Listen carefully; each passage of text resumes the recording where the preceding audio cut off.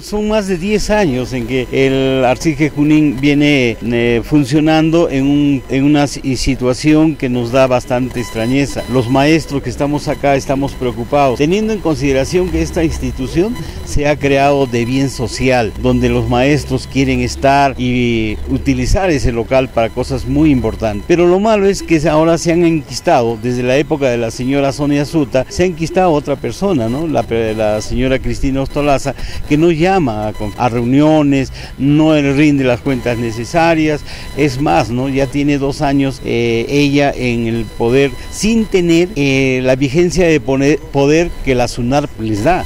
Y eso también es para nosotros algo ilógico e irregular. Lo que nosotros los maestros pedimos es, en primer lugar, que, que existan nuevas elecciones, que existan una cuestión democrática, porque imagínense, los maestros no tenemos dónde reunirnos, nuestro local está sitiado por ello. Entonces el día de hoy estamos anunciando nosotros que vamos a tener una marcha de sacrificio prácticamente hasta por las calles y llegar hasta Arcije y solicitar que de una vez por todas se convoquen a elecciones, que se rindan las cuentas. Tú sabes que son más de 2.500 maestros que eh, religiosamente cada cada fin de mes están siendo descontados, ni siquiera van a pagar, sino entonces es necesario que se dé a conocer nosotros estamos sitiados. Hay maestros que dicen que se van a, encadenar en la puerta precisamente del arcije para dar este que la señora de una vez convoque a él. En segundo lugar, la señora tratando de boicotear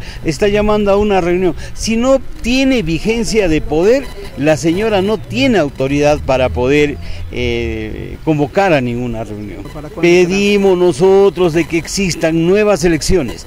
Vamos a denunciar al abogado que también nosotros nosotros habíamos convocado, habíamos presentado una, una eh, medida cautelar, también nos han rechazado y pedimos nosotros, eh, apelamos y dentro de esa apelación el abogado que tenía que haber presentado en el periodo del día 13 de diciembre lo presentó el día 16. Entonces en contubernio con la señora de repente estamos prácticamente nosotros este, desesperados. ¿no? Yo acá tengo acá este, al presidente del comité electoral, que el presidente del comité electoral eh, solicitamos también que se continúe con esto, ¿no?